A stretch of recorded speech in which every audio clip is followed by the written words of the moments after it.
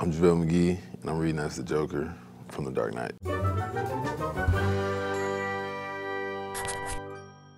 wanna know how I got these scars? My father was a drinker and a fiend.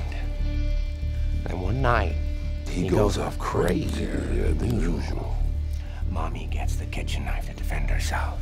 He doesn't like that, not one bit.